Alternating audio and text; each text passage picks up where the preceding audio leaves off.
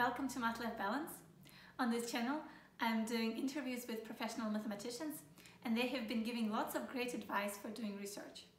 And I'm also tempted to give advice, but since you are already getting lots of good advice, I'd like to give a different kind of advice.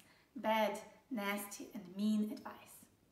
So in this video, I want to give some life hacks to you as a PhD student or a postdoc on how to convince yourself that you are the worst researcher in the world. By the way, I was told by my senior colleagues that it's a bad idea to do a video about my own psychological struggle with math. So here is a disclaimer. This video has absolutely nothing to do with my personal experience.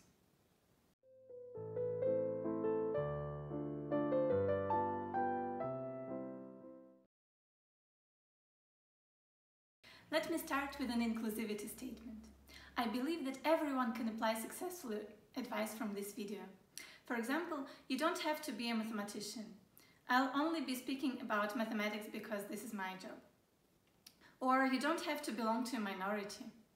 You don't even have to lack academic achievements or have a low overall self-esteem. We've been advocating for inclusivity in academia and finally, here it is. The fundamental thing is the relationship that you build with your research. For a successful abusive relationship, I recommend one that is inspired by an expression in Russian, the temple of science. So imagine an ancient temple. In this temple, mathematics is the goddess, and you are her priest, making sacrifices to satisfy her wills. This way, you can never possibly do enough mathematics. The divine beauty of math will become a reminder of how little you are doing for your goddess.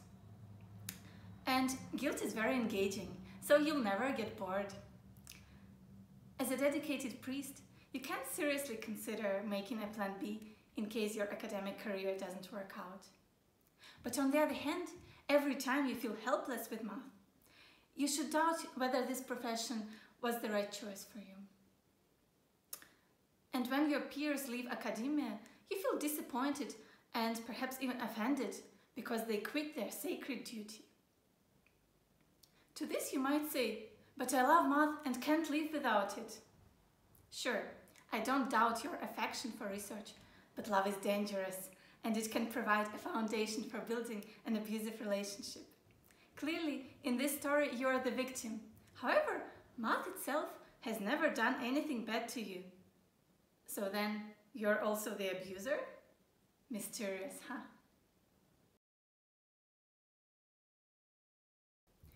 Let me emphasize, it's all about your attitude. Math will always be bigger than you, and knowing this, you can choose how to deal with it. For example, it's up to you what to call doing research.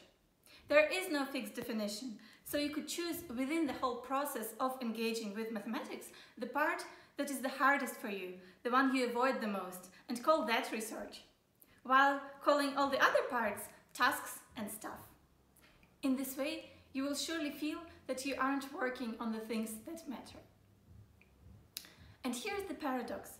While you keep learning new math and making actual progress in research, you also get closer to the goal of being the worst researcher in the world. For example, say you're trying to understand some proof and you're stuck. So you're feeling unproductive. And then you finally understand it. Tell yourself immediately, well, what took you so long? Since now that you understand the proof, it looks rather simple. Another fun fact. The more math you learn, the more math around you you feel you should know. For example, say you're at a conference. While you're increasing your math vocabulary, make sure to get overwhelmed with how much math you don't know since you haven't even heard of it before that conference. Also, ask yourself regularly, am I good enough to do math? This rhetorical question has an amazing feature. It can upset you every time as strongly as the first, even if you ask it a thousand times.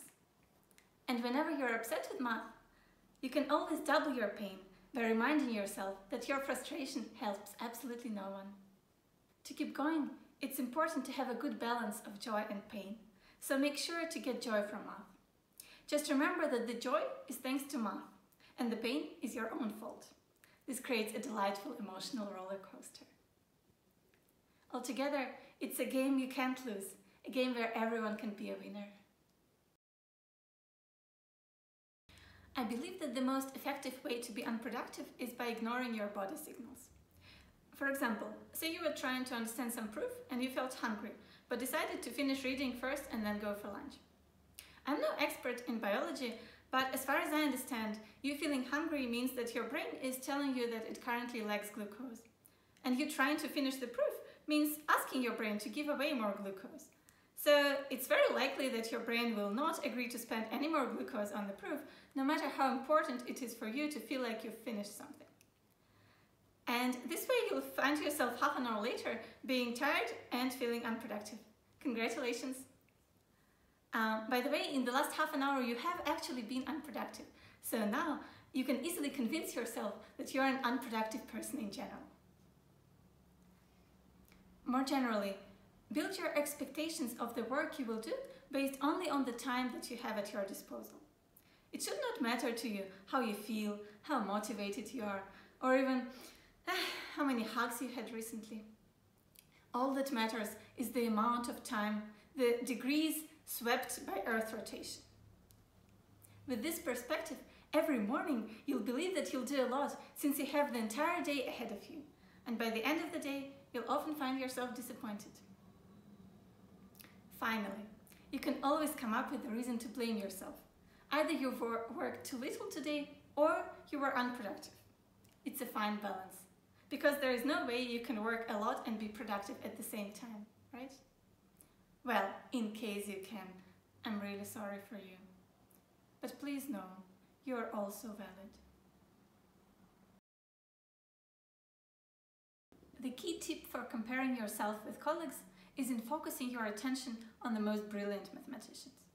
That's really easy since their personas are so shiny and they're discussed the most often. So watch them and observe how different you are. To do so, you can create an image of a true mathematician and then try to notice in every colleague only those pieces of their personality that fit your imaginary portrait.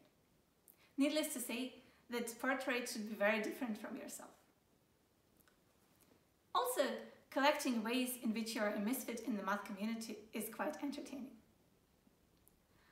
And another important advice, uh, take part in big collaborations with amazing mathematicians. That helps to feel that you aren't contributing anything. And whenever you do have a comment to add to a math discussion, start with, this is not my idea, someone else told it to me. Finally, you can convince yourself that if you have a success, the credit is not yours. Assure yourself that you are in a privileged position, that your achievements are due to a nourishing environment or pure luck. This is easy to do nowadays, thanks both to the politics of positive discrimination or affirmative action and to the popular message, shut up and check your privilege.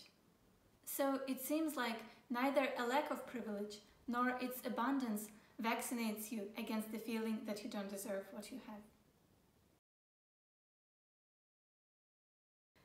Use every chance to tell people around how terrible you are at math. Make sure to even find an opportunity for a special conversation with your boss where you explain how you don't deserve your job. And whenever someone tries to comfort you, saying that you aren't doing such a bad job, argue against it. Be passionate, determined and creative at it. Remember that your main argument is unbeatable. But I really, really don't understand math. And forgive people who try to reassure you. They just don't know you well enough. Let me finish the endless advice with the only piece of bad news. While doing research might help to achieve your goal of becoming the worst researcher in the world, therapy can actually be dangerous. You might even eventually start feeling better about yourself and your work. I chose the sarcastic tone for this video because some of this advice may be hard to avoid following, so I didn't want to say, just don't do this to yourself. However, I hope that I gave you some external perspective that could be helpful. And if you liked it, please share the link to the video. And for those who saw something relatable in this video, here is a wish from my co-author from the happiness book that my friends made me for graduation.